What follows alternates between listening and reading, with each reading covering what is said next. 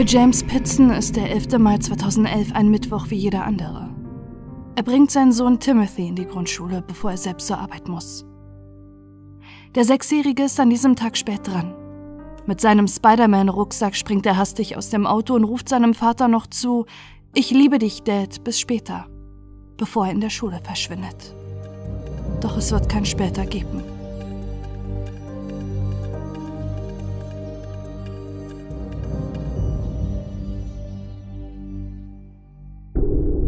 Die Familie. Es ist Ende des Jahres 2002 und James Pitson, der von seiner Familie Jim genannt wird, begleitet eher unfreiwillig einen Freund auf eine Abschiedsparty in seinem Büro. Doch diese Party verändert sein Leben. Die Frau, deren Abschied gefeiert wird, ist Amy Fry, die ihn vom ersten Moment an fasziniert. Sie ist eloquent, kontaktfreudig, reist gern. James und sie verbringen den gesamten Abend gemeinsam und er weiß, dass er sie wieder treffen muss. Einen Tag nach der Party fragt er Amy nach einem Date und die beiden beginnen schließlich eine Fernbeziehung. Amy lebt und arbeitet im US-Bundesstaat Illinois, James in Iowa. Alle paar Wochen fährt er sie besuchen. Viele beunruhigende Aspekte ihres Lebens lernt er deshalb erst nach einiger Zeit kennen. Amy durchlebt gerade ihre dritte Scheidung leidet seit Jahren unter Depressionen und ist suizidgefährdet. Einen Suizidversuch hat sie bereits in der Vergangenheit überlebt. Doch kurz nach dem Beginn ihrer Beziehung zu James kommt es zu einem weiteren. Nach einem Vorstellungsgespräch für einen Job, den Amy schließlich bekommt, hält sie mit ihrem Auto an einer Klippe. Sie nimmt eine Handvoll Schmerztabletten und wartet, bis sie runterfällt. Doch sie überlebt und bricht sich lediglich einen Wirbel. Erst jetzt erfährt James von den psychischen Erkrankungen seiner neuen Freundin. Doch die ganze Wahrheit verschweigt sie ihm auch weiterhin. Eigentlich müsste sie Medikamente gegen ihre Angstzustände und Depressionen nehmen. Doch oft weigert sie sich dagegen, mit verheerenden Folgen. Sie ist ohne Medikamente emotional instabil, angespannt und leicht zu reizen. Von einem Hoch, in dem sie fröhlich und ausgelassen ist, fällt sie innerhalb von Sekunden in ein Tief. Es ist ein Punkt, der in der Partnerschaft und späteren Ehe oft für Streit zwischen James und Amy sorgt. Wenn sie sich weigert, ihre Medikamente zu nehmen, versucht James sie daran zu erinnern. Doch Amy schreit ihn jedes Mal an, dass es ihn nicht zu interessieren habe. Amys Schwester beschreibt zehn Jahre später in einem Interview, dass ihre Schwester immer rastlos war. Sie war ständig auf der Suche nach Glück, doch nichts hat sie erfüllt. Keine der Ehen, die sie eingegangen ist, kein Job und schließlich auch nicht ihre neue Rolle als Mutter. Eigentlich haben sich James und Amy damit abgefunden, keine Eltern zu werden. Amy will keine Kinder, da sie Angst hat, ihre psychischen Erkrankungen zu vererben. James, der mit 20 den Krebs und eine Chemotherapie überstanden hatte, wurde damals fälschlich als unfruchtbar diagnostiziert. Doch als Amy nach einem Jahr Fernbeziehung doch schwanger wird, sehen es beide als ihr Wunder an. Trotz der bisherigen Schwierigkeiten zwischen James und Amy wollen sie ihrem Kind eine glückliche Familie bieten. Sie heiraten, ziehen zusammen und all ihre Bedenken sind verflogen, als 2004 Timothy geboren wird.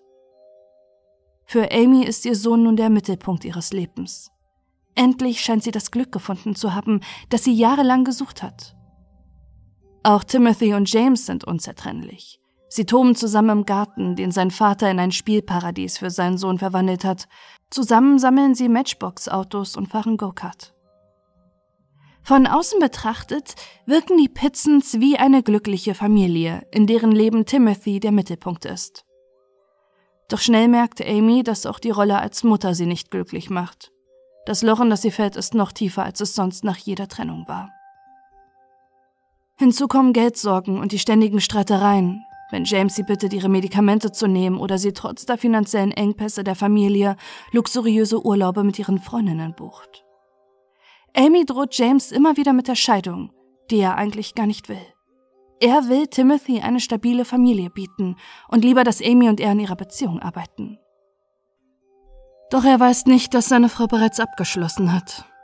Abgeschlossen mit allem.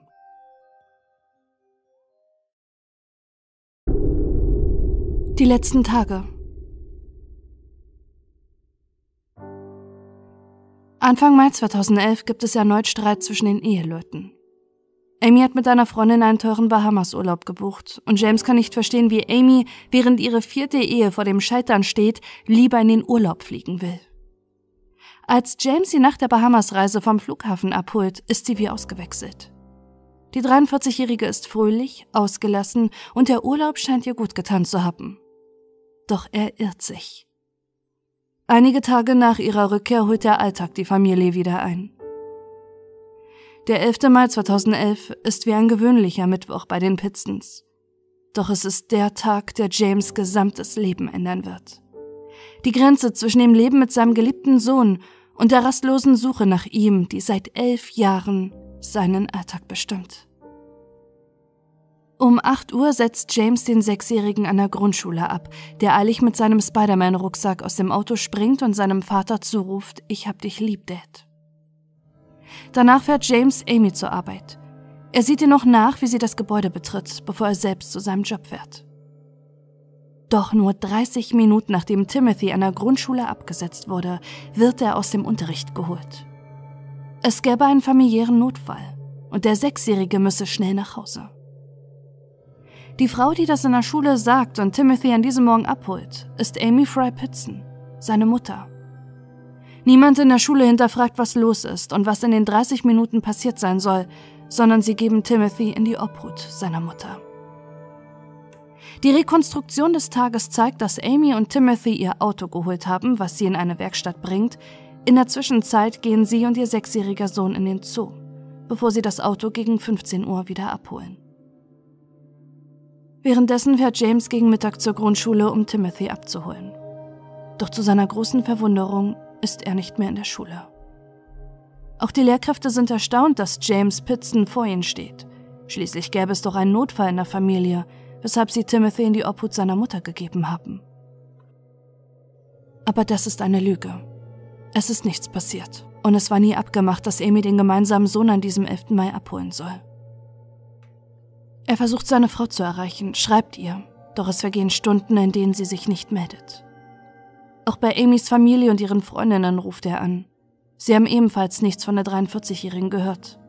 Allerdings beruhigen sie ihn. Es ist schließlich nicht das erste Mal, dass Amy nicht erreichbar ist.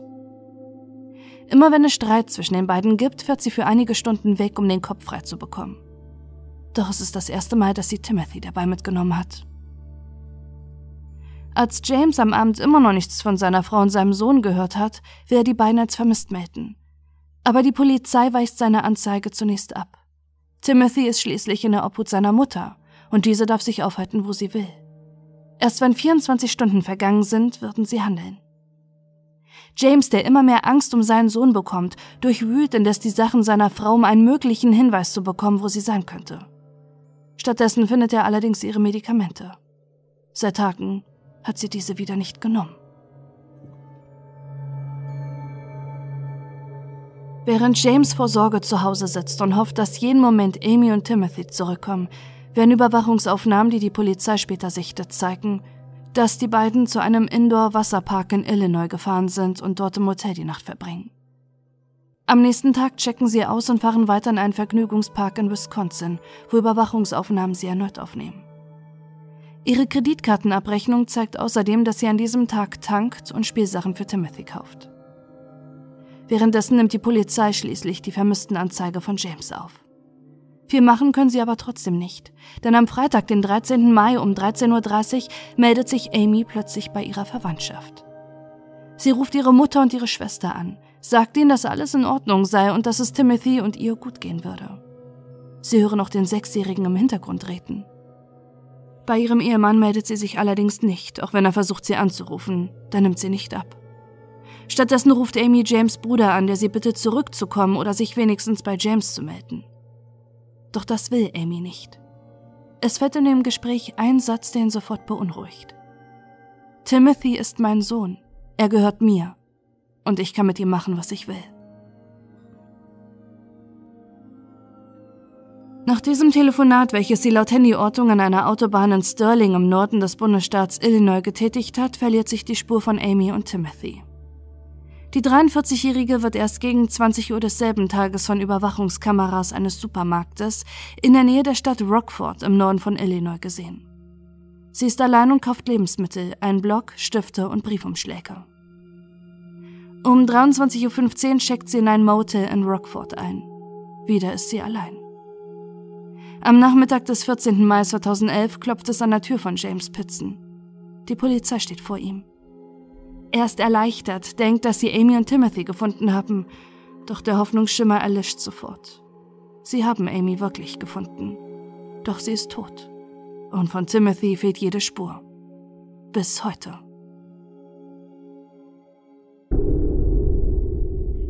Verschwunden.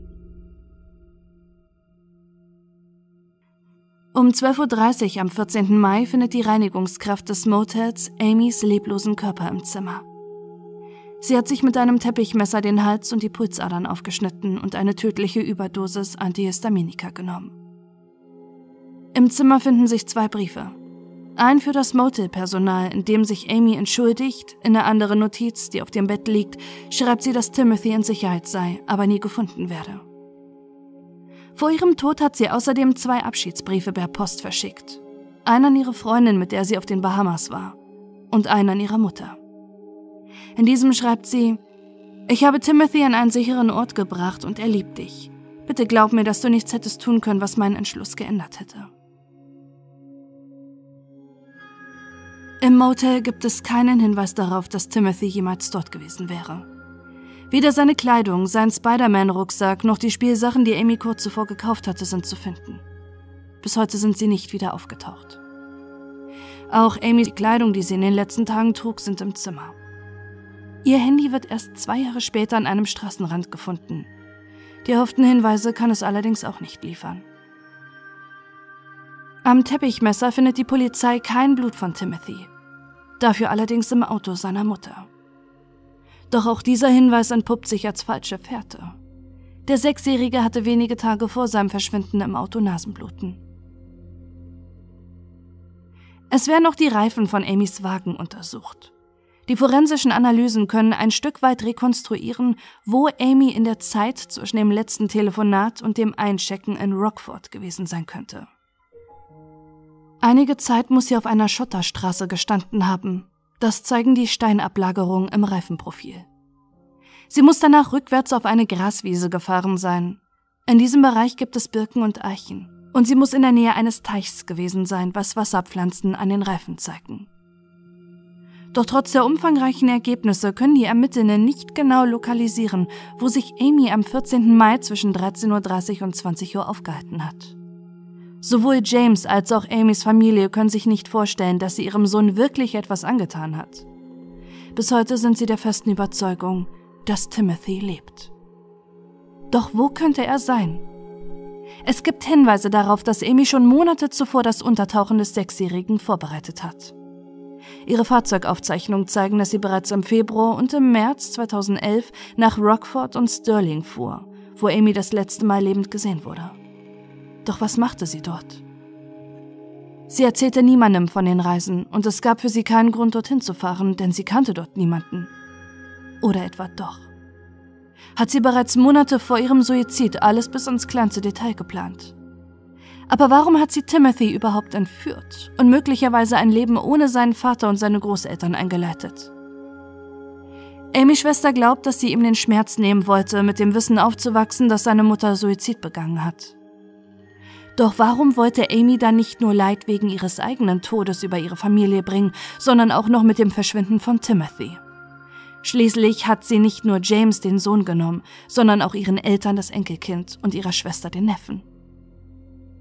Trotz der Differenzen zwischen James und Amy war das Verhältnis zu Amys Familie immer gut. Auch heute stehen sie hinter James und müssen täglich mit dem Schmerz und der Qual leben, was mit Timothy passiert ist. Zum zehnten Jahrestag seines Verschwindens veröffentlicht seine Cousine Phoebe einen Brief in der Presse, gerichtet an den 16-jährigen Timothy. Lieber Tim, ich erinnere mich genau an das letzte Mal, als ich dich gesehen habe. Es war ein ganz normaler Besuch für meine Schwester und mich in den Frühlingsferien. Meine Tante Amy, deine Mutter, bestand darauf, etwas zusammen zu unternehmen. Ich erinnere mich, dass ich später bei dir zu Hause war und Hotdogs gegessen habe. Ich erinnere mich, dass du mit deinen Spielsachen gespielt und mit mir über Spider-Man geredet hast. Das Letzte, woran ich mich erinnere, ist, dass meine Tante Amy wollte, dass ich mit ihr spiele, weil ich dich eine Weile nicht sehen würde. Es klang normal, da ich weit weg lebte und euch nur während der Schulferien besuchte, aber ich hätte nie gedacht, wie wahr es werden würde.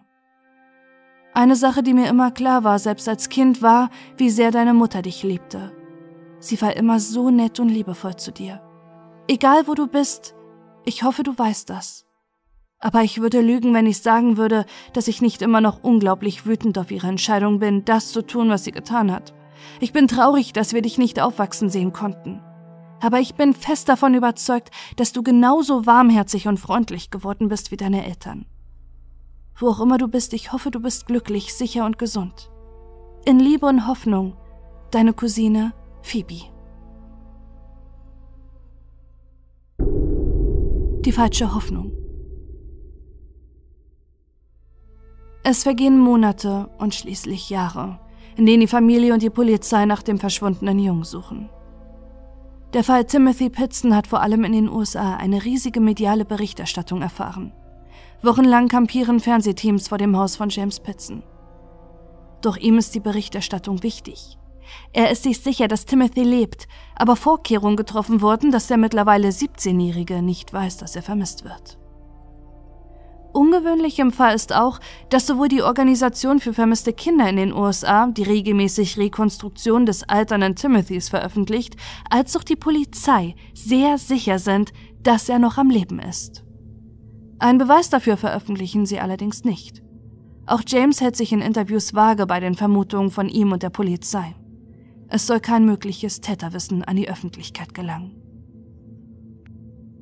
Er deutet lediglich an, dass vermutet wird, dass Timothy in einer abgelegenen Gegend, vielleicht außerhalb des normalen gesellschaftlichen Lebens in den USA untergekommen sein könnte oder er gar ins Ausland gebracht wurde. Ob es Hinweise gibt, wo er genau sein könnte, sind öffentlich nicht bekannt. Da James Pitson neben englischsprachigen Medien aber auch aktiv die deutsche Presse kontaktiert, um den Fall bekannt zu machen, gibt es Spekulationen, dass Timothy möglicherweise nach Deutschland gebracht wurde. Im April 2019 überschlagen sich plötzlich die Nachrichten. Timothy Pitson wurde gefunden. Eine Frau aus Newport im US-Bundesstaat in Kentucky hat einen mageren jungen Mann, der verletzt und nervös ist, gesehen, wie er durch die Straßen irrt. Als die Polizei ihn aufgreift, sagt er ihnen, Bitte helfen Sie mir, ich will nach Hause. Ich bin Timothy Pitson. Er sei jahrelang von zwei Männern festgehalten worden und hätte sich jetzt erst befreien können. Wie ein Lauffeuer verbreitet sich die Nachricht, dass Timothy acht Jahre nach seinem Verschwinden wieder aufgetaucht sei, obwohl dies noch nicht bestätigt ist. Auch James kann es nicht fassen, was er in den Nachrichten liest. Innerhalb weniger Stunden wird er von der Presse belagert, die wissen will, wie es ist, wieder mit seinem Sohn vereint zu sein. Amys Familie ist ebenfalls voller Hoffnung. Ihre Schwester sagt in einem Interview, ich dachte, es wäre echt, zu 100 Prozent. Es kam mir nicht einmal in den Sinn, dass er es nicht sein könnte. In meinem Kopf routinierten ganz andere Dinge. Wer holt ihn ab? Braucht er Kleidung? Doch einen Tag später gibt es Ernüchterung. Der DNA-Abgleich hat ergeben, dass der Teenager nicht Timothy Pitson ist. Es handelt sich um den 22-jährigen Brian Reaney, der bereits wegen Einbrüchen und Vandalismus verurteilt wurde und unter psychischen Erkrankungen leidet. Aus seiner True Crime Dokumentation hat er die Informationen zum Verschwinden von Timothy Pitson. 2020 wird er wegen Identitätsdiebstahls zu zwei Jahren Haft verurteilt. Auf die Frage, warum er sich als Timothy Pitson ausgegeben hat, antwortet er, dass er sich gewünscht habe, er hätte einen Vater wie James Pitson. James Pitson lebt seit elf Jahren in einem Albtraum. Er ist ein gebrochener Mann, der täglich von der Trauer um seinen Sohn überkommen wird. Er musste aus dem Haus ausziehen, wo ihn alles an Timothy erinnert hat. Manchmal verbringt er Tage mit heruntergelassenen Jalousien, um sich von dem Medienrummel abzuschotten. Sein größter Wunsch ist es trotzdem, noch einmal Vater zu werden. Er hofft, dass er dann sein Trauma endlich überwinden kann.